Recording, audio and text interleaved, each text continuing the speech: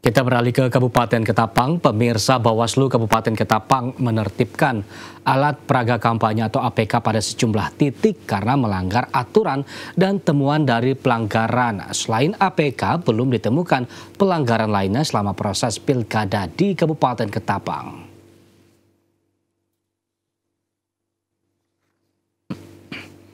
Meski sudah dikoordinasikan melalui LO, namun pemasangan alat peraga kampanye atau APK yang tidak sesuai aturan masih tetap terpasang dan tidak dilepas oleh masing-masing paslon Pilkada Kabupaten Ketapang. Pelanggaran tersebut sebagian besar meliputi memasang APK di tiang listrik, memaku di pohon, serta pemasangan yang dapat menghalangi pandangan pengendara pada sejumlah ruas jalan kota Ketapang. Terhadap pelanggaran tersebut, petugas melakukan pembersihan dengan menertibkan seluruh APK yang dinilai melanggar sebanyak 15 APK yang terpasang. Ketua Bawaslu Kabupaten Ketapang, Dovir mengatakan karena dipasang melanggar aturan walaupun sudah diingatkan namun tidak diindahkan dilakukan penertiban yang mendapat pendampingan dari pihak Satpol PP serta TNI Polri.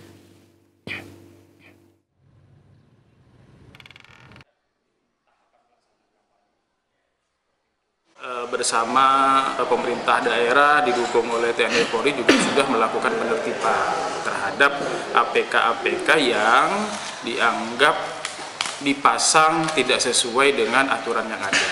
Misalkan yang terpasang di tiang listrik, yang terpasang di tempat umum, dan lain sebagainya. Kalau jumlah yang kami tertibkan kemarin itu cuma 15 APK saja, 15 alat peraga kampanye saja yang